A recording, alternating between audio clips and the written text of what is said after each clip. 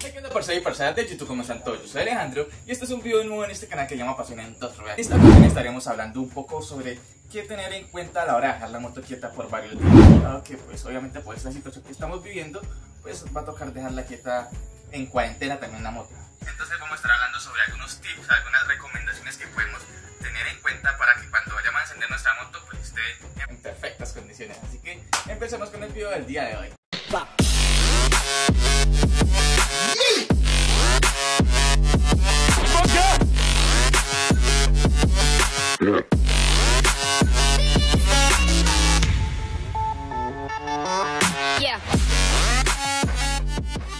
Entonces uno de los tips que tenemos que tener en cuenta es dejar nuestra moto totalmente limpia a la hora de dejarla quieta. Obviamente esto es algo bastante básico y bastante obvio, pero muchas personas tal vez no la tengan en cuenta, pero es algo bastante importante, es dejarla totalmente limpia, obviamente para que no se percura la moto, tal vez si tiene botadora de aceite, pues limpiársela para que esto no se adhiera al motor ni nada de esto.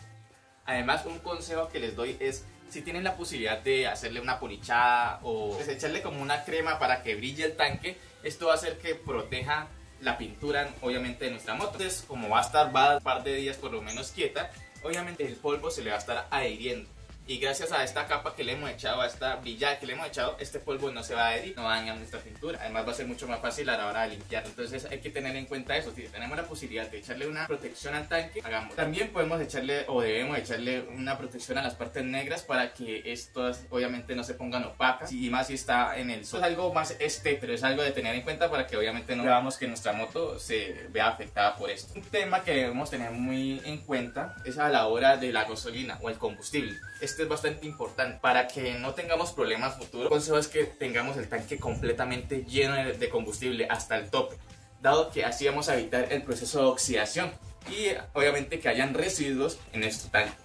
Si no tenemos la posibilidad de encender la moto, lo que debemos hacer es vaciar eh, la taza de carburador, dejar el carburador sin nada de gasolina para que obviamente no hayan problemas luego a la hora de encender. Dado que las propiedades de la gasolina, aunque no creamos, estas se pierden, obviamente con bastante tiempo y esperamos que no pasemos mucho tiempo pues así en cuarentena. Si no tenemos la posibilidad de estar encendiendo la moto constante, vaciemos por completo el carburador. Y como consejo, pues yo por lo menos que tengo la posibilidad de encender la moto, la puedo encender cada 3 o 4 días para que obviamente las piezas estén moviéndose constantemente constantemente, dado que el aceite, obviamente, al tener la moto por tanto tiempo reposada o por un par de días reposada, el aceite se va al cárter, a la parte de abajo del motor. Para que esto no suceda y para que las piezas estén en movimiento, por lo menos cada 3 o 4 días tengo la costumbre de estarla encendiendo para que las piezas tengan un movimiento que encendamos nuestra moto y tenemos la posibilidad. Otro que tenemos que tener en cuenta es la hora de la presión de los neumáticos. Estos eventualmente van perdiendo su presión y van cayendo al suelo. Entonces si pierden todo el aire y quedan reposados en el suelo, estos obviamente van a irse deformando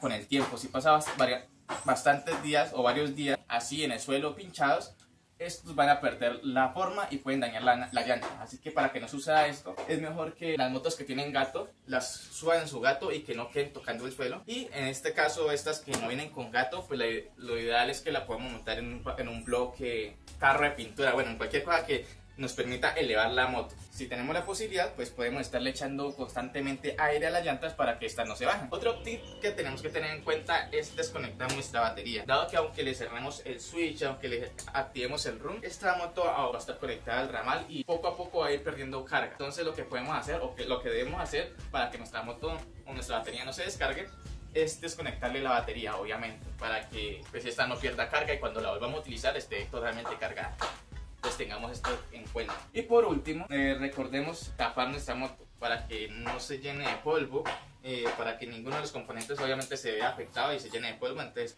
lo que podemos hacer es colocarle su pijama y si no tenemos la pijama, pues podemos colocarle unas bolsas plásticas si estamos a la intemperie. Pero obviamente antes de esto es mejor colocarle una protección primero, como unas sábanas, una cobija vieja, qué sé yo, que le puedan utilizar, dado que estas, las bolsas plásticas transpiran. Entonces esto puede hacer que nuestra pintura se dañe. Entonces para que esto no suceda es preferible colocarle primero una sábana o una cobija vieja y ahí sí colocarle la bolsa plástica. Así que estos son algunos de los tips que podemos tener en cuenta a la hora de dejar nuestra moto por, algún, por varios días eh, quieta. Así que espero que les haya gustado, que les haya servido algo. Si ustedes tienen alguno más, pueden comentarlo allá abajo. También los invito a seguirme en mis redes sociales, para, dado que por ese medio estoy bastante activo. Entonces por ahí me pueden contactar. Y como ya dije, si tienen algún consejo más, si ustedes están tomando alguna precaución extra, coméntenlo allá abajo para que más personas la puedan tomar también, la puedan tener en cuenta. Así que pues nada, parceros, espero que les haya gustado mucho el video del día de hoy. Recuerden que yo soy Alejandro y esto fue Pasión en Dos Real. Nos vemos en un próximo video, parceritos.